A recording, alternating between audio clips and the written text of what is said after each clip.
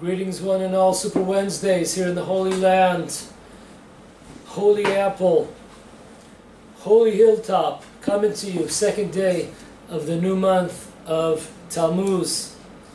And before we start our part three of this important series, first of all, always a thank you to all those volunteers. Everything here is volunteer folks from the camera people, from the cars, from picking up, you name it, everything's volunteer. So we thank all those that participate in the in this project of coming to you and hopefully bringing messages of truth to one and all so that we take anybody you know we just finished the series of do black lives matter? Do jewish lives matter? Be a man make aliyah now m-a-n and it's very important. Share it. Get it out. Get the message out. A lot of these messages are very important that not a few hundred people here but a few but thousands of people here. And at least us we're very humble here. We don't have that those opportunities but maybe somebody out there listening watching you do have that opportunity. So whatever it takes i don't even know the language share social media whatever it has whatever has to be done do it.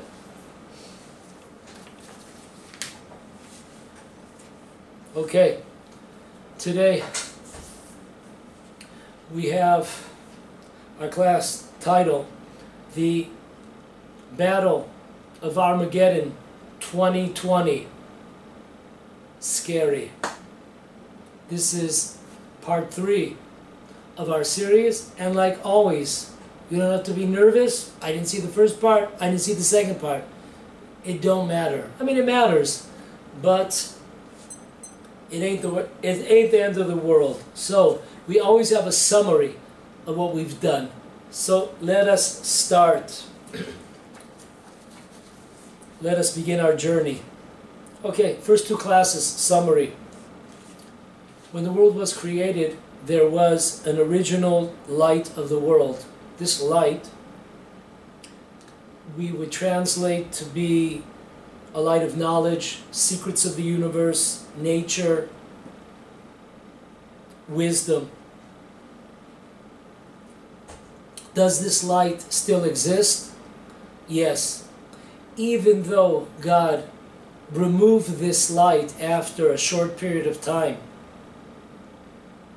at the creation of the world, it still exists for individuals or communities to tap in. We are told in our Torah sources there will be three world wars against God and against his appointed or anointed one. First battle, First World War, was the battle of Nimrod against Abraham and God.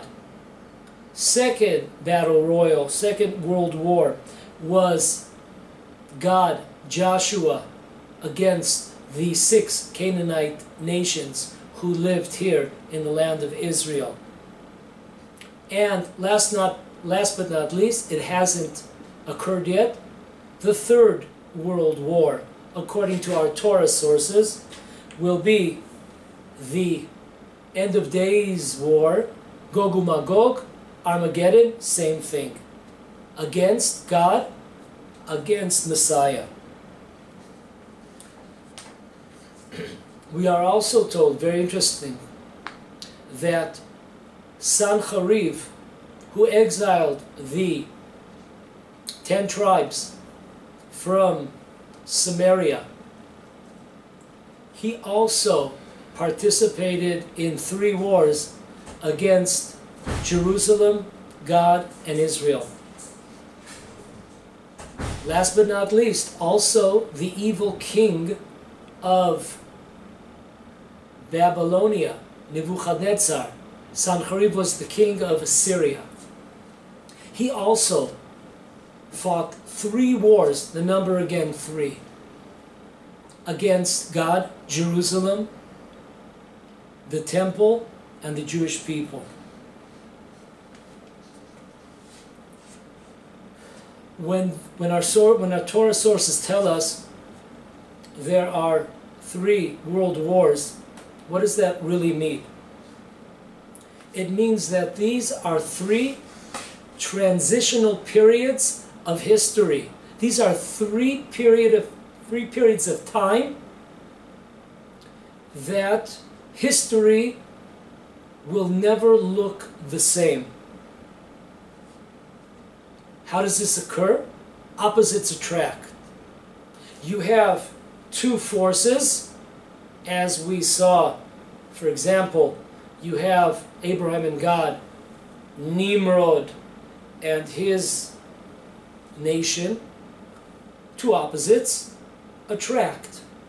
They must, okay, they must eliminate one another, one or the other. So, there are three such periods of time. Today, we are on the cusp of such a time, such a transitional period of history. We are right on the threshold. A loop in the chain of wars. We said three world wars, world wars. However, there's a loop here. Number one, the first loop was in this battle against God, Jerusalem, and Israel, welcome king of Syria, Sancheriv. He was a reincarnation of Nimrod, who the First World War. So it's really the same, but it's a loop. Section A. Next, Nebuchadnezzar. He also is was a reincarnation of Nimrod. That's our second loop. The last loop is the war of Armageddon, Gog and Magog. This Gog and Magog is a reincarnation of Nimrod, Sancheriv, and Nebuchadnezzar, all in a battle against Israel, God, Jerusalem, the temple, Messiah. We spoke about the Tower of Babel. We brought eight amazing points in the first two classes that what was the essence of this tower? What was special about it? Why did God have to put it to an end? What was the big deal? We saw amazing sources that show us that this was the highest of techs, the high tech, highest of technology. It was sophisticated, amazing. Last but not least, we saw in the first two classes. We saw the unbelievable commentaries of Rabbi Shimshon Raphael Hirsch and the Abarvanel. First, a quick summary of the Rabbi Shimshon Raphael Hirsch. Number one, the generation of the Tower of Babel, they left nature, they left God's creation. They wanted only man-made inventions. Three, their idea was to replace God and control the individuals. Four, they utilized the masses until the masses were no longer needed, obsolete. They now controlled nature and the world people no longer mattered. Technology did.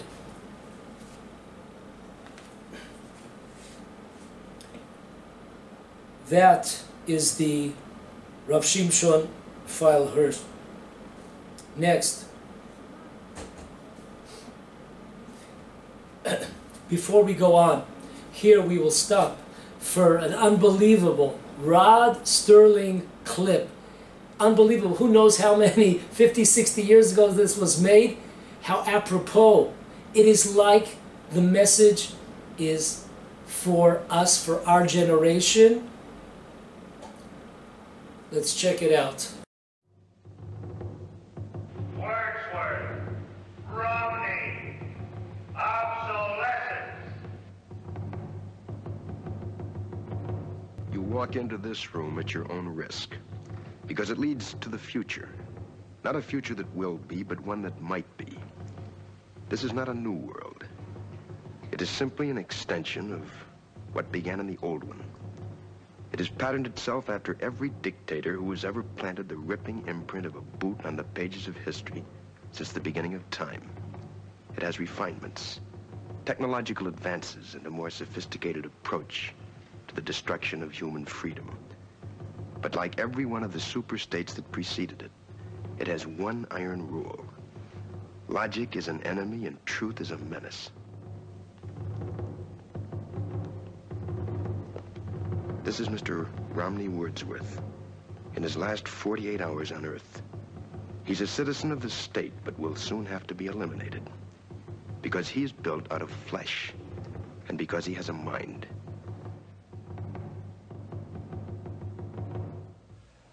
Been under investigation, Mr. Wordsworth, for the mandatory period of one year and 11 months. You're found to be obsolete. The purpose of this hearing is to make a finding in the matter and make a sentence accordingly. Do you understand that, Mr. Wordsworth?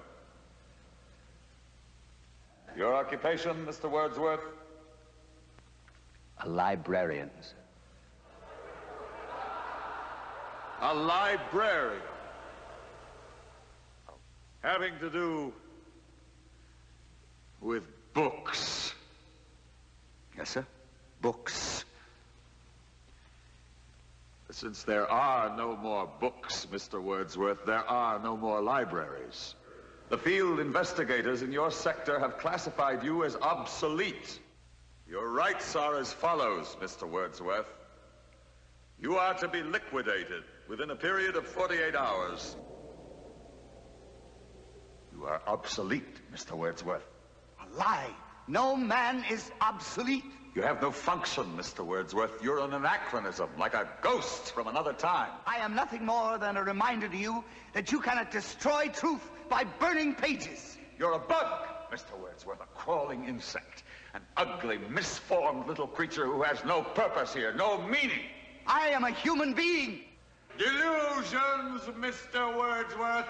Delusions that you inject into your veins with printer's ink. The narcotics that you call literature, poetry, essays of all kind, all of it an opiate. You have nothing but spindly limbs and a dream, and the state has no use for your kind. I don't care. I tell you, I don't care. I'm a human being. I exist. And if I speak one thought aloud, that thought lives even after I'm shoveled into my grave. The Chancellor, the late Chancellor, was only partly correct. He was obsolete. But so is the state, the entity he worshipped. Any state, any entity, any ideology that fails to recognize the worth, the dignity, the rights of man, that state is obsolete.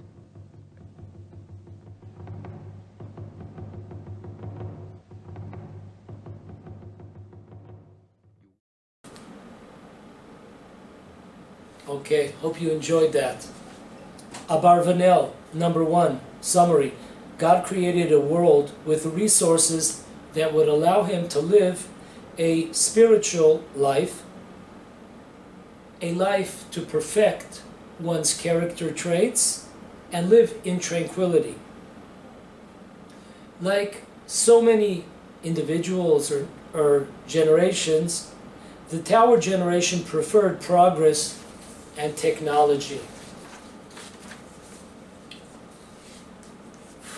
They left their tra- tranquil, simplistic life of rural communities for the urban high tech and glamour glitz society.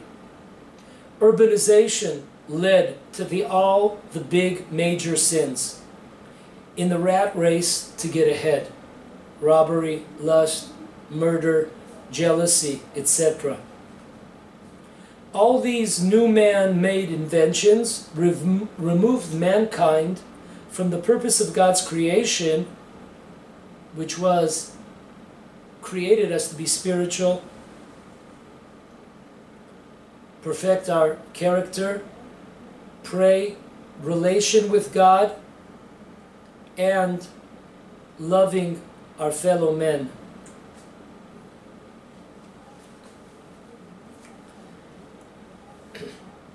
We have here an amazing activist from India. Let's check out her important words. Take it away.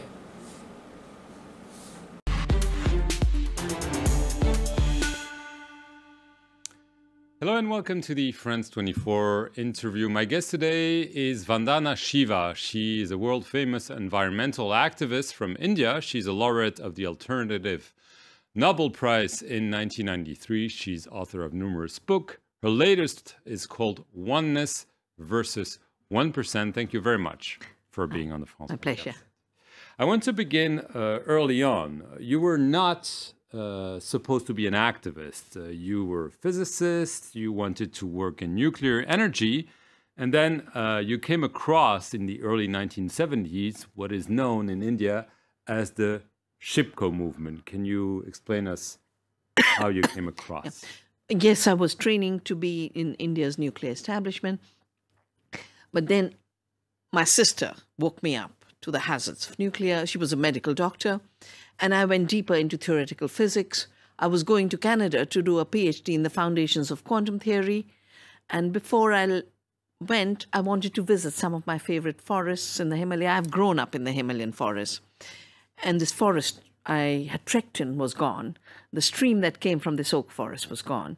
And while returning to Delhi, I talked to a tea shop owner, and he talked about how there's a new movement called Chipko. So in my heart, I said, I'm going to come back every vacation and be a volunteer for this movement. Women came out to say, We're going to hug the trees. You cannot cut the trees because from the trees come our water. The trees stabilize the mountain and prevent landslides. The trees prevent floods and droughts, and they also give us everything we need. We will be huggers of trees. The name Chipko means to hug. And I learned all my lessons of ecological activism from the women of the Himalaya who'd never been to school but knew everything about ecology, knew everything about biodiversity. What they called soil, water, and pure air today talked about as ecological functions of the forests. That forests are not timber mines. And a lot of my change in the understanding of the fact that nature is the basis of economy came from my engagement with Chipko. My respect for women's knowledge, indigenous knowledge, came from my engagement with Chipko. And it totally turned my own head upside down because physics, you know, high in the world, you know something others don't. And you, I realized everyone has knowledge and you must respect it.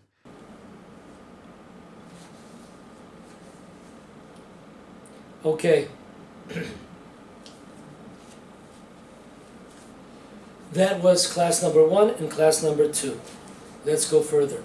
Today, with God's help, we will bring 10 new points regarding the tower and Nimrod, King Nimrod, in order for us to better understand this battle, this final end of days battle how it is so prevalent. We see it right in front of our very eyes happening. We just don't associate it to Armageddon. We always think of Armageddon as, you know, ammunition, tanks, airplanes. That definitely can be. But there are different faces of this war. And what we're discussing in this series is a very important face and to understand where the enemy is coming from. Okay, folks, listen, really put on a seatbelt. You can't make any of this stuff up. I'm really, I was really amazed when I saw this stuff. So put on those seatbelts. Number one, batting first, is Rabbeinu Bachya. He has a commentary on the Torah. He passed away in the year 1340. So he writes in his commentary on the Torah, and once again, whenever I'm giving a source and I won't say exactly where it is, know that we're talking about the portion of Noah, and we're talking about the uh, the 11th chapter. Okay, when we're talking about the the generation of Babel, so there's about nine verses that discuss this, so that's where we're at. What does Rabbeinu, a Rabbi Bachya, say? It says that the generation of the tower, they were very frightened. They knew that God would not send a flood to destroy the world, but they had privy information that the next flood wasn't going to be water, it was going to be fire. A flood of fire was going to destroy at least, at least parts of the world. So, what did they do? Amazing.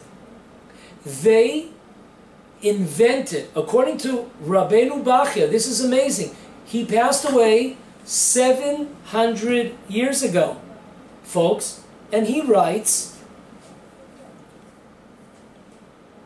that they built this tower and it was really the first lightning rod ever built in order to stop this fire from the heavens.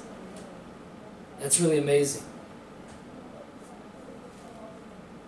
So, if you thought that Benjamin Franklin, now Benjamin Franklin, he is known as the person that invented the lightning rod, the first lightning rod, in uh, the year 1760, passed away 30 years later. The first lightning rod. That was the idea. This tower, you know, today you go in Israel, I'm sure in other places in the world, you see these like, you know, these big, these tall uh, poles, and on top they have these light lightning rods that stop.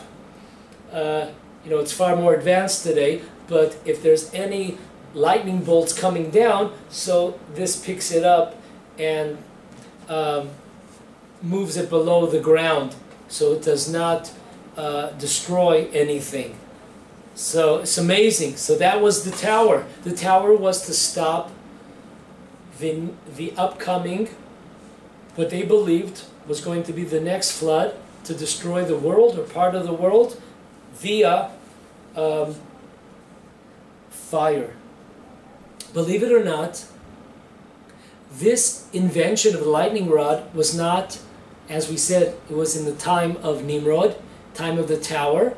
But also, if you look up in Tosefta, the tractate of Shabbat, in the seventh chapter, and look in the tenth paragraph, you will see this Tosefta we have in our sources. 2,000 years ago, we have what is a lightning rod in order to stop lightning from damaging property. Amazing. It's all in the Torah. Beautiful. Okay, batting next is Rabbi Yonatan Eybeschutz. He passed away in 1764, about 260 years ago. In his book, Tiferet Yonatan, on page 20, in the portion of Noah, Listen to what he says in Amazing Torah. He says that the idea of the tower was to be used, the tower was to be used as a launching pad to reach galaxies, moon, life beyond our existence, our knowledge. Can you get this? These amazing. What kind? We talked about the tower. This was high tech. Amazing sophistication. A spaceship, sort of. Or a launching pad, he says, or a spaceship to reach the moon or above galaxies. That was the idea.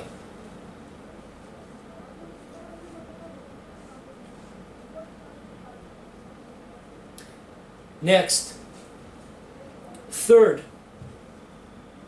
piece of new information.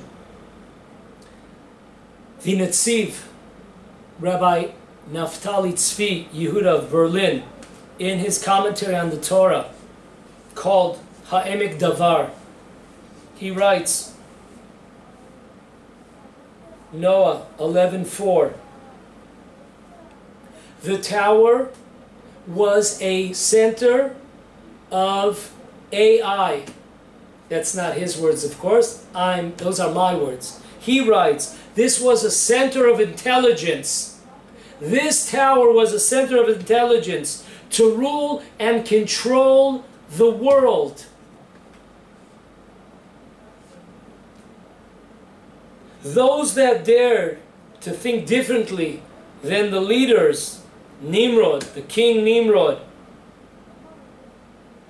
and other leaders of the generation of the tower, they would be executed. This was their center of intelligence, AI, artificial intelligence. Ain't new. Amazing. This tower was to spy and keep and and keep abreast of what everyone was thinking about, what, what they were talking about, ideas, etc., to make sure that nobody, there would be no one that would disagree with the rulers. So that's the unbelievable Emek. Next, this one, a source from the Zohar Kadosh, in the book of Noah, page 76a. Listen to this.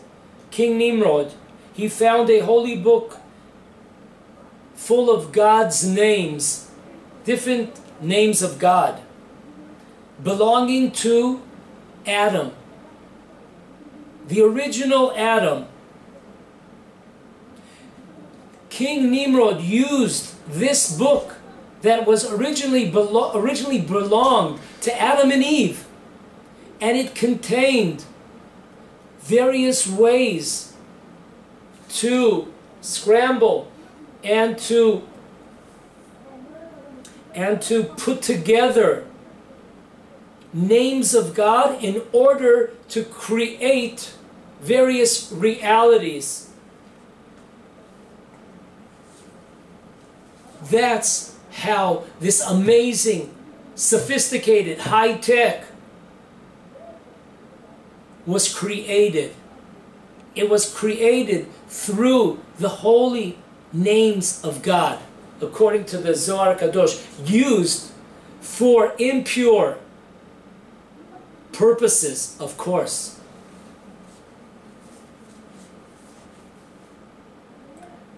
Point number five.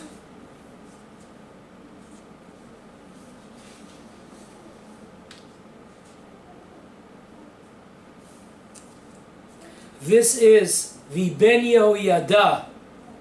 on his commentary to Sanhedrin, tractate Sanhedrin, 106, side B.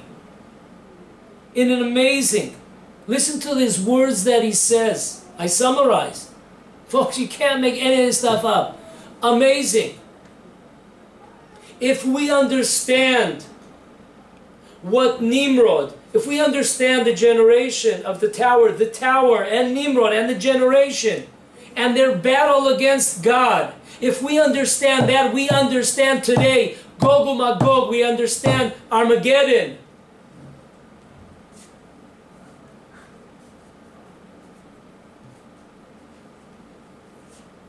Listen to his words. This flying tower that Nimrod created, this was based on the knowledge of flying. Knowledge of flying, planes. At the time, at the time of this tower, this knowledge was known and later forgotten for generations and generations and generations. He says straight out planes.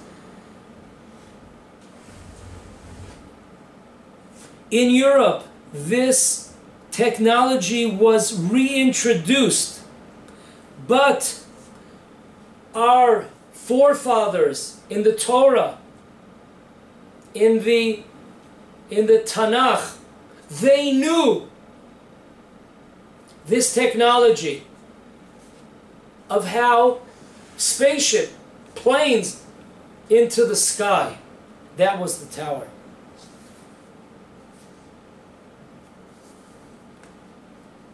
Next, sixth point.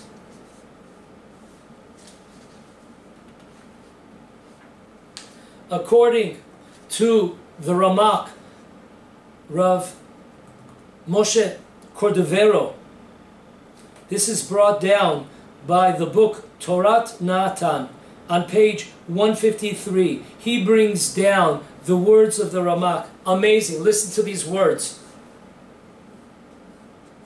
Listen closely. We spoke about in the beginning when it says in Genesis that God created light, we're not talking about the moon, we're not talking about stars, we're not talking about the sun. We're talking about a spiritual light which contained all secrets, all knowledge, all wisdom, health, science, biology, technology that one needs. And then after a short period of time, there's different opinions which we discussed in the first class. We will not go over them. God removed that light.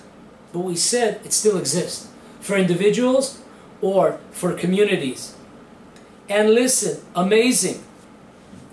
This first light of knowledge that you were able to see from one side of the world. You were able to see everything that is occurring in the world from one side to the other, east, west, south, and west, south and north.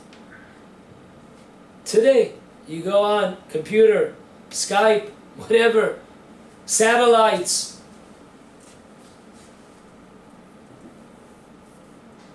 Listen to what he says. This is on page 153. This light that was somewhat fixed in the time of Noah and his family by their spirituality, by their righteousness, they were able to bring back this light, this first light, back to the world. And this was used this was used by no none other than Nimrod in order in order to build this tower. So he had, he was privy to this first light, to a certain degree of this first light. Amazing. But folks, it, it even goes like we're hitting out of the park today. It goes further. Our next source.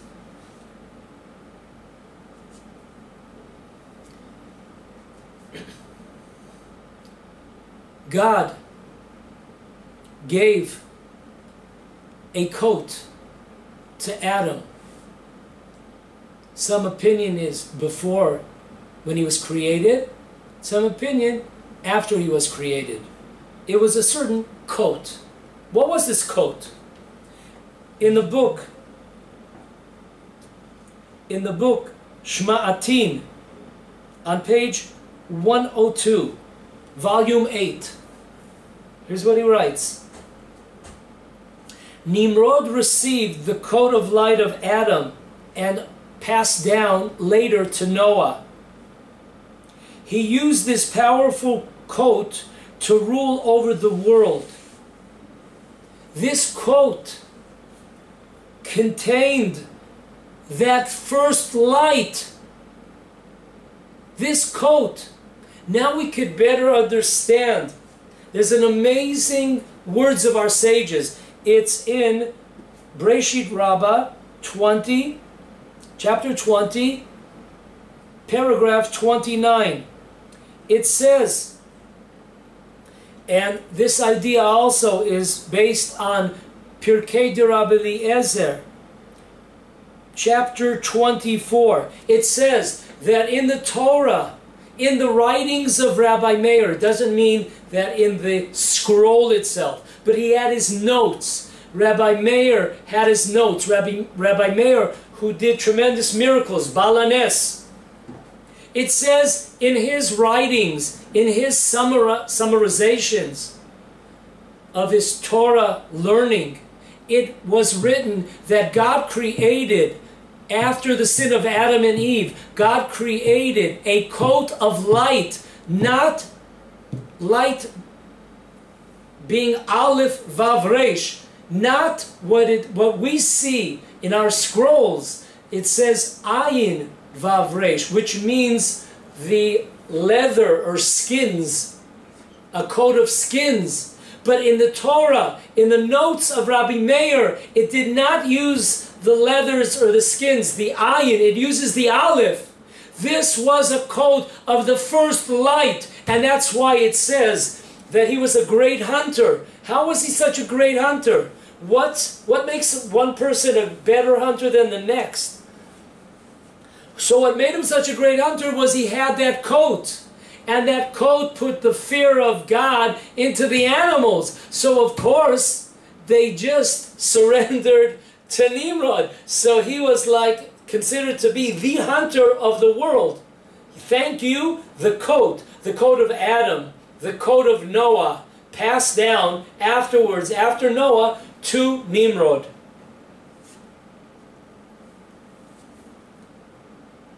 Nimrod used this coat and the light and the knowledge and the technology and everything we said about this first light. He used it in his war against God.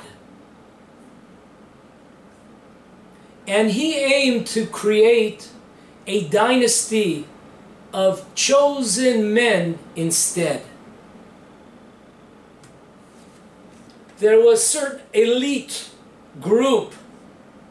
Once again, if you remember, that they utilized the masses in order to forward their progression. They promised, just like in all the isms throughout all of history, when they promised the masses that their life would be improved. What we seeing today, uh, we're seeing Democrat, the Democrat Party utilizing the Black Lives Matter, utilizing them only to be thrown away in the trash bin later on.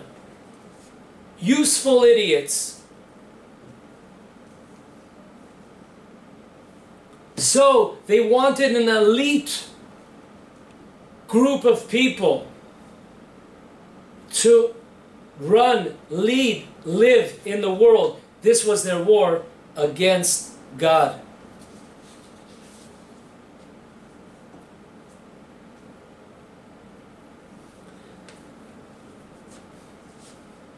an amazing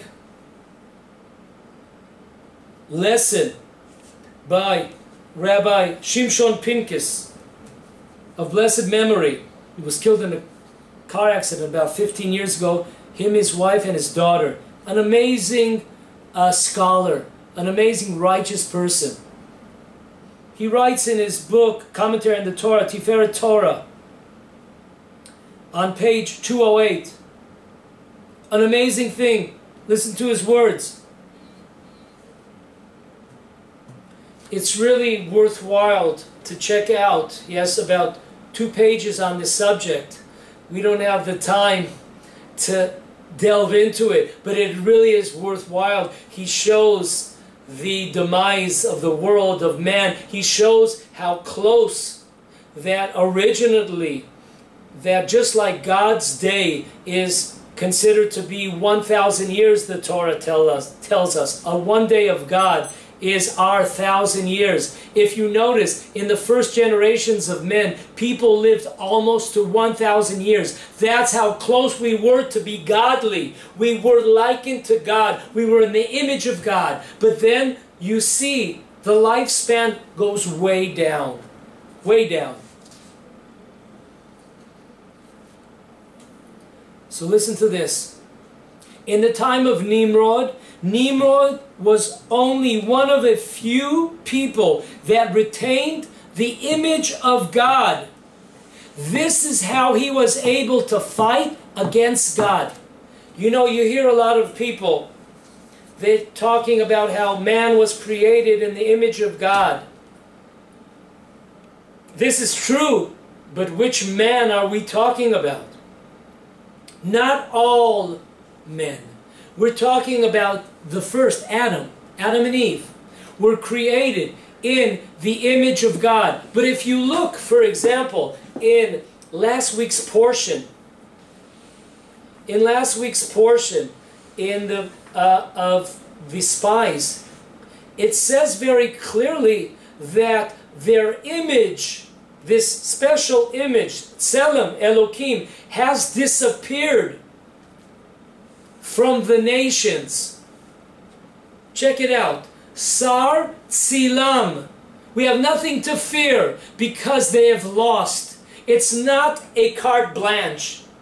It's not something that it's you're guaranteed that you carry it for the rest of your life. There are divisions. That's not our purpose right now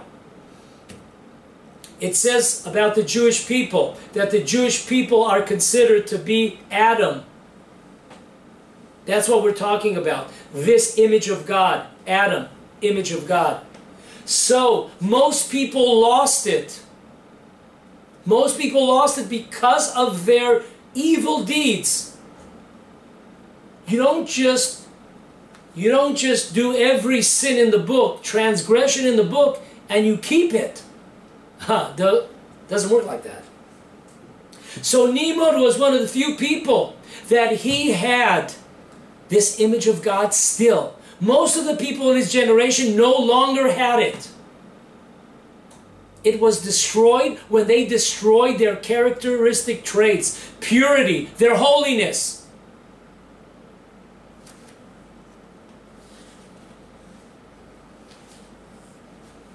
We go on.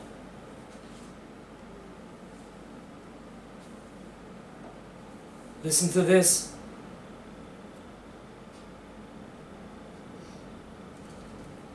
In the Rama of Pano, in his book Asara Marot, the ten, ten forms of speech, he writes an amazing thing. Listen to this.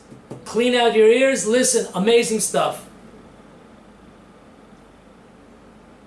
This coat that God created for Adam. This coat was the soul of Adam. You heard that correctly. According to the Kabbalist, the Rama of Pano. Amazing. This coat gave a person the image of God. Tselem Elokim. And therefore, the animals were terrified. People were terrified. Whoever would go with this code of Adam, it would put the fear of God into their hearts. This is this is the soul of a person. When it says the image of God, we're talking about the soul. And that was via through this coat. So therefore, Nimrod, whatever he did, this is brought down, whatever he did, he had this coat. He inherited it from Noah.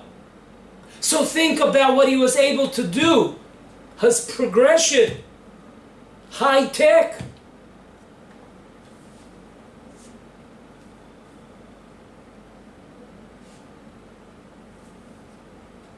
Or, in the words of the book, Le'omko Shel Mikra, the depths, depths of our Torah, on page 241.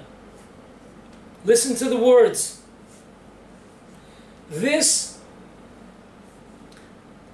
this coat of light, remember we said, was it a coat of skin, leather, or was it a coat of light? This coat of light that, that Adam received from God, Nimrod took from Noah. This coat gave, so to speak, royal authority to rule the world a godlike attribute. Remember in our second class, was he a god? Many people considered Nimrod to be a god. People bowed down to him. This is an amazing thing.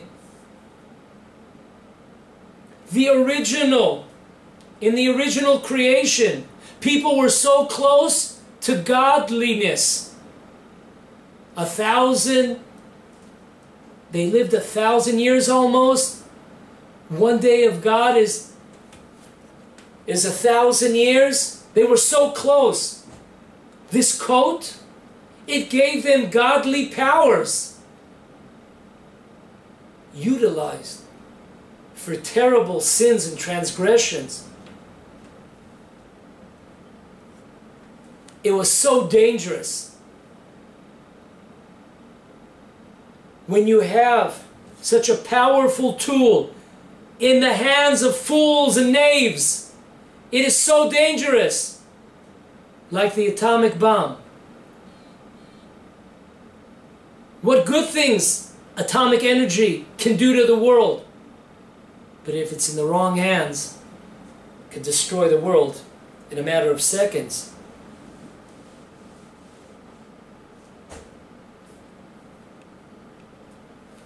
Nimrod, he had still this image of God. He had this coat. He was so close to God. He had godly, so to speak, godly powers. What did he do with it? Almost destroyed the world. Almost destroyed the, the world. Using it for evil.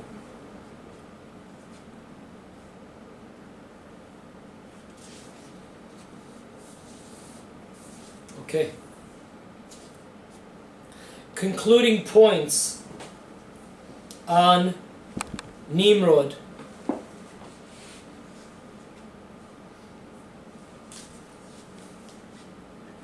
Point number one Nimrod, he was from the Nephilim.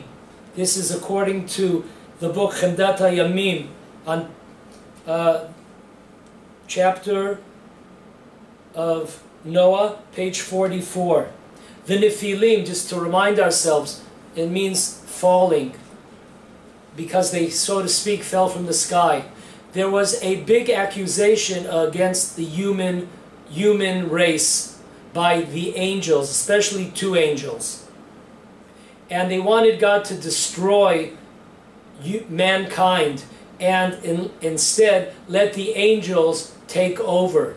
So God told them that if they were in our shoes, if the angels were in our shoes with all of the evil inclination that we have, with all of our tests, with all of our weaknesses that we have, because we are flesh and blood, they would even fall faster than mankind. So God sent two angels, and sure enough, if you didn't understand that, it's sure enough. In my hood, if you didn't understand that, in my neighborhood, that's how they said it. They didn't say sure enough, it was sure enough. So they began to have relations with human beings, and from these relations came these giants. Nimrod was one of these sort of half-breed. It's not a song by Cher. Half-breed, it's all I ever hear. Half-breed. No, it's, it's not the Cher song. Uh, half angel and half man. That's a lot of, lot of power there. And then, an amazing line by the Alshech, commentator on Noah, 11.4. He says an amazing thing. What was the battle Nimrod was fighting against? When he had this tower and he had this valley. What was the what was the battle? Listen, amazing. The battle was against Jerusalem and against the temple. Now that sounds like one second. In the time of Nimrod, there was no temple, and there was no there's no Beit Hamikdash. So what does this mean? We will get back to this. We will get back to this. He knew once again. Remember, Nimrod is not your average bear. Nimrod is a very, very spiritual person. He is wearing the coat of the first light. He is able to see into the future from one side of the world to the next. He sees the deal. He sees the temple. He sees Jerusalem. He sees what it means. And that was his fight. His fight was not necessarily only for today. It was also for tomorrow and the next day and the next years and the next centuries to come. So he had this perception. That was his fight. Not only that, even on a more simplistic level, we said, who was the reincarnation of Nimrod? We had uh, Sancheriv, king of Assyria. We have Nebuchadnezzar, the king of Babel, of Babylonia, who destroyed the first temple. So it's the same person, it's the same soul, just reincarnated. So they're all going. Uh, the king of Assyria, Sancheriv, he went, you know, to destroy Jerusalem. He failed, but they all have the same agenda, and that is there is a war between, there is a world war between Jerusalem, the temple, and these individuals and nations. The Megaleh Amukot, he writes in Breshi, in Genesis, portion of Noah, that Gog Magog, Armageddon, will be, once again, Nimrod, it's all in one, Nimrod, Sancheriv, and Nebuchadnezzar, all in one. That's who they are.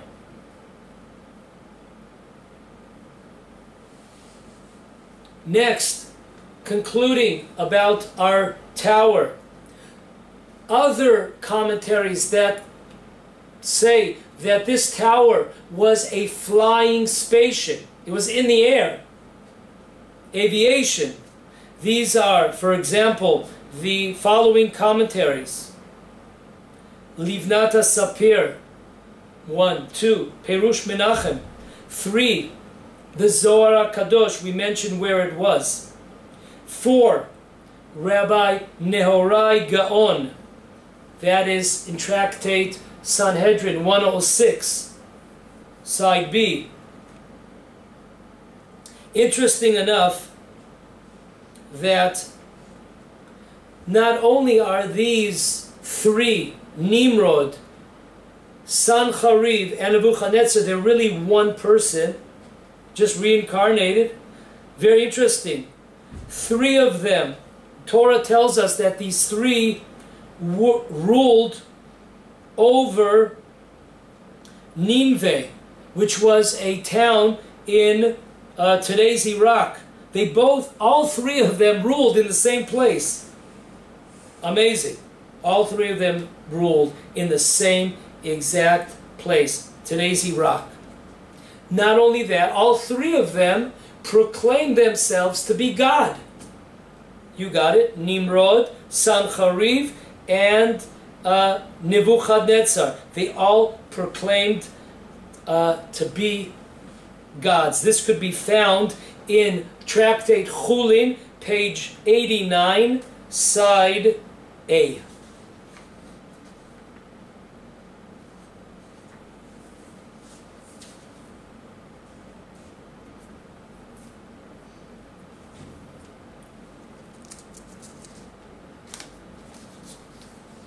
Okay, so we are going to, for our first class, uh, actually third part here today, we'll call a timeout and God willing, we will be